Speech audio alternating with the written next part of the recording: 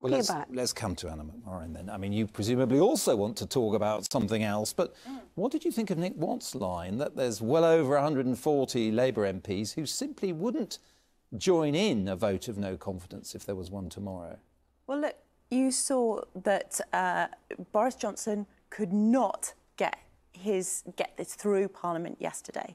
Uh, rejected the motion, resoundly rejected.